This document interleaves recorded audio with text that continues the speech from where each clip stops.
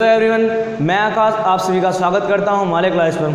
Friends मई का पहला सप्ताह समाप्त हो चुका है और आज हम पढ़ने वाले हैं मई के पहले सप्ताह की सबसे ज़्यादा इंपॉर्टेंट करंट अफेयर्स तो फ्रेंड्स हमने मई की पहले सप्ताह की पंद्रह इंपॉर्टेंट करंट अफेयर्स सेलेक्ट किए हैं, जो आपके लिए सबसे ज़्यादा इंपॉर्टेंट होने वाले। तो फ्रेंड्स मैं आपको बता दूँ कि जो पंद्रह इस हफ़्ते की सबसे ज़्यादा इंपॉर्टेंट करंट अफेयर्स हैं। इन करंट अफेयर्स को एक भी करंट अफेयर्स को मिस मत कीजिए और इन करंट अफेयर्स को याद करते रहिए और नोट करते रहिए, क्योंकि ये करंट अफेयर्स आपके लिए बहुत ही इंपॉर्टेंट होने वाली हैं। और फ्रेंड्स मैं आपको बता दूँ कि मैं आपसे वीडियो के लास्ट में डेली एक क्वेश्चन पूछा करता हूँ, जिसका जवाब आपको कमेंट बॉक्स में देना होता है और फिर मैं उसी का जवाब आपको अगली वीडियो में देता हूँ। तो फ्रेंड्स जो मैंने आपसे कल एक क्वेश्चन पूछा था कि राष्ट्रीय फ़िल्म पुरस्कार पहली बार कब दिए गए थे? तो फ्रेंड्स एक बार और सुन लीजिए कि राष्ट्रीय फ़िल्म पुरस्कार पहली बार कब दिए गए थे? तो फ्रेंड्स राष्ट्रीय फ़िल्म पुरस्कार पहली बार उन्नीस में दिए गए थे।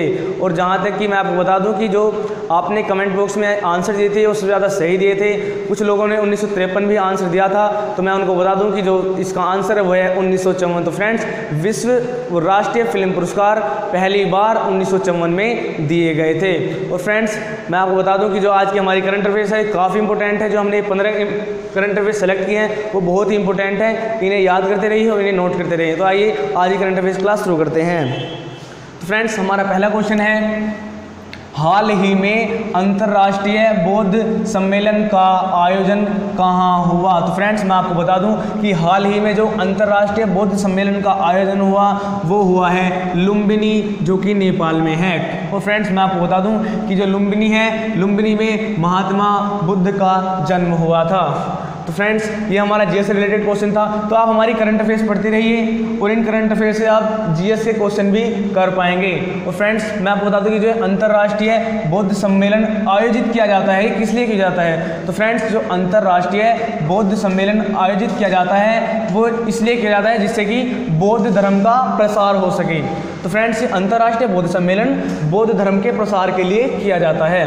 और फ्रेंड्स हमारा नेक्स्ट क्वेश्चन है, स्वच्छ भारत मिशन की गोवर्धन योजना किस राज्य में शुरू की गई? तो फ्रेंड्स स्वच्छ भारत मिशन की गोवर्धन योजना हरियाणा में शुरू की गई। फ्रेंड्स एक बार और सुन लीजिए कि स्वच्छ भारत मिशन की गोवर्धन योजना हरियाणा राज्य में शुरू की गई। और फ्रेंड्स, हमारा जो नेक्स्ट क्वेश्चन है, ये काफ़ी इंपॉर्टेंट है और ये आपके किसी भी कॉम्पिटेटिव एग्ज़ाम में पूछा जा सकता है। तो फ्रेंड्स, हमारा क्वेश्चन है कि किस ई कॉमर्स कंपनी ने रॉकेट का सफल प्रशिक्षण किया? तो फ्रेंड्स ई कॉमर्स जो कंपनी है, जिसने रॉकेट का सफल प्रशिक्षण किया, वो किया है अमेजोन ने। जो कि आपको बता दूँ कि जो अमेजोन के सीईओ हैं, वो इस वर्ल्ड के सबसे अमीर आदमी हैं। और फ्रेंड्स, हमारा नेक्स्ट क्वेश्चन है कि जो W H O W H O की 20 सर्वाधिक प्रदूषित शहरों की सूची में सबसे प्रदूषित शहर। तो फ्रेंड्स डब्ल्यू एच ओ ने 20 सर्वाधिक प्रदूषित शहरों की सूची बनाई है। उसमें कानपुर सबसे ज़्यादा प्रदूषित शहर है। और फ्रेंड्स मैं आपको बता दूँ कि जो 20 सर्वाधिक प्रदूषित शहरों की सूची बनाई गई है उसमें भारत के 14 शहर हैं। और जो आ, हमारे भारत के लिए बहुत ही सम की बात होनी चाहिए। फ्रेंड्स मैं आपको बता दूँ कि जो डब्ल्यूएचओ है इसका मतलब होता है वर्ल्ड हेल्थ ऑर्गेनाइजेशन और फ्रेंड्स हमारा नेक्स्ट क्वेश्चन है हाल ही में जम्मू कश्मीर के नए उप मुख्यमंत्री कौन बनाए गए हैं? तो फ्रेंड्स हाल ही में जम्मू कश्मीर के जो नए उप मुख्यमंत्री बनाए गए हैं, वो बनाए गए हैं कविंदर गुप्ता। तो फ्रेंड्स मैं आपको एक बात और बता दूँ, जम्मू कश्मीर में विधानसभा होते हैं तो वहाँ पर छः साल के के लिए नियुक्त किए जाते हैं विधानसभा चुनाव में। छः साल के लिए पद पर नियुक्त किए जाते हैं।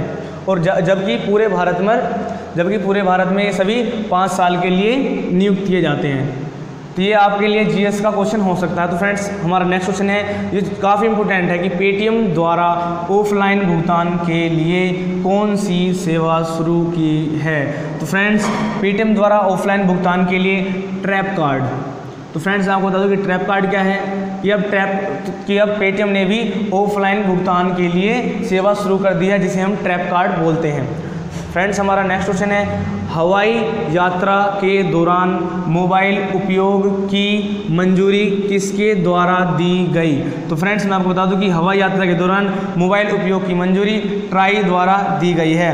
फ्रेंड्स, अब आप सोचेंगे कि ट्राई क्या है तो मैं आपको बता दूँ कि ट्राई है Telecom Regulatory Authority of India. तो फ्रेंड्स, ट्राई का मतलब है Telecom Regulatory Authority of India. Friends हमारा नेक्स्ट क्वेश्चन है हॉकी इंडिया पुरुष टीम के मुख्य कोच कौन नियुक्त किए गए हैं? तो फ्रेंड्स हॉकी इंडिया पुरुष टीम के जो मुख्य कोच नियुक्त किए गए हैं, वो किए गए हैं हरेंद्र सिंह। ये क्वेश्चन आपके लिए काफ़ी इंपॉर्टेंट है कि हॉकी इंडिया पुरुष टीम के मुख्य कोच कौन नियुक्त किए गए हैं? तो नियुक्त किए गए हैं हरेंद्र सिंह। फ्रेंड्स हमारा नेक्स्ट क्वेश्चन है, ये काफ़ी इंपॉर्टेंट क्वेश्चन है। तो फ्रेंड्स मैं आपको बता दूँ कि भारत का सबसे विश्वसनीय इंटरनेट ब्रांड कौन सा है? तो फ्रेंड्स भारत का सबसे विश्वसनीय इंटरनेट ब्रांड गूगल है। और फ्रेंड्स मैं आपको बता दूँ कि जो गूगल है गूगल के जो हमारे सी e हैं, वो हैं सुंदर पिचाई। फ्रेंड्स वो हैं हमारे सुंदर पिचाई। और मैं आपको बता दूँ कि सुंदर पिचाई हैं, वो भारतीय मूल के ही हैं, वो हमारे इंडिया के ही हैं। फ्रेंड्स हमारा नेक्स्ट क्वेश्चन है नासा नासा द्वारा इनसाइट मिशन किस ग्रह के लिए लॉन्च किया गया? फ्रेंड्स इनसाइट मिशन के बारे में हमने पिछली वीडियो में बताया भी था और मैं आपको बता दूँ कि जो नासा है, वो विश्व की सबसे बड़ी स्पेस एजेंसी है। और मैं बता दूँ, जो हमारे भारत की सब स्पेस एजेंसी है, उसका नाम है इसरो। तो फ्रेंड्स, जो इनसाइट मिशन किस ग्रह के लिए लॉन्च किया गया तो फ्रेंड्स, मैं आपको बता दूँ कि जो नासा द्वारा इनसाइट मिशन लॉन्च किया गया है, वो मंगल ग्रह के लिए लॉन्च किया गया है। फ्रेंड्स हमारा नेक्स्ट क्वेश्चन है, पंद्रहवा प्रवासी भारतीय दिवस कहाँ आयोजित किया जाएगा? तो फ्रेंड्स पंद्रहवा प्रवासी भारतीय दिवस वाराणसी में 9 जनवरी 2019 को आयोजित किया जाएगा।